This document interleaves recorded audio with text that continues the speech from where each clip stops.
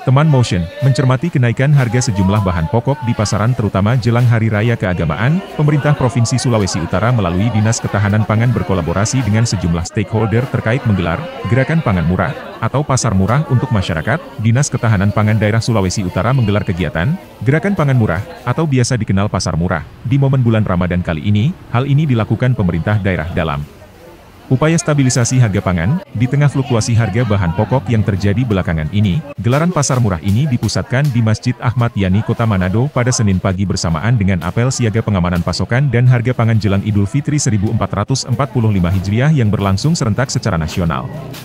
Pihak Dinas Pangan menyampaikan, gerakan pangan murah ini diharapkan bisa menyediakan harga bahan pokok yang lebih terjangkau bagi masyarakat, terutama untuk bahan pokok yang teridentifikasi mengalami fluktuasi dan lonjakan harga saat ini seperti beras dan telur ayam. Pemerintah provinsi juga memastikan terus melakukan pemantauan pasokan bahan pokok secara rutin, sehingga jika terjadi kekurangan pasokan bisa segera dilakukan langkah intervensi. Jelang Idul Fitri ini, pemerintah mengimbau masyarakat agar berbelanja dengan bijak sesuai kebutuhan dan jangan terjadi panik buying atau pembelian secara berlebihan, sehingga bisa berdampak terhadap perilaku konsumtif.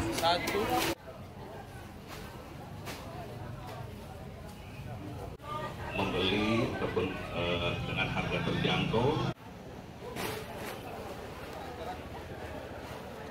Dirutnya dan direkturnya berkenan untuk bisa bergabung bersama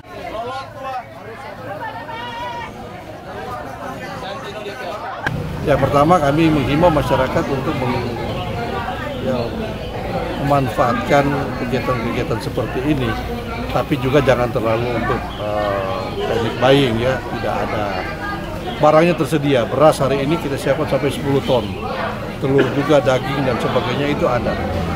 Uh, masyarakat diimbau untuk mau beli sesuai dengan kebutuhannya dan mengatur sesuai dengan kebutuhannya. Tapi kemudian kami juga bersama stakeholder terkait dengan Pak eh, dengan pangan ini tetap akan eh, menghadirkan pangan lewat kegiatan-kegiatan pasar murah seperti ini. Jadi tidak hanya sekedar seremonial, tapi ini sambil jalan di semua kabupaten kota dan sesudah acara hari ini, apel siaga ini, kami tetap akan melaksanakan kegiatan-kegiatan seperti ini.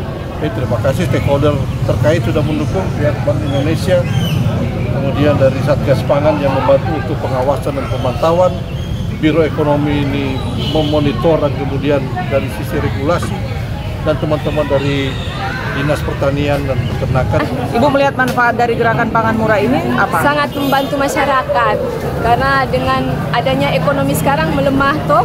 Jadi kalau misalnya ada yang lebih murah beras dan gula minyak kelapa serta bahan pangan sangat membantu untuk masyarakat. Karena masyarakat sekarang kan ibu-ibu yang paling parah. Kalau belanja di pasar kalau mahal nggak cukup belanja.